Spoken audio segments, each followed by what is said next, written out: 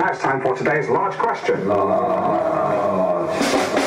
If he's so smart, how come he's dead?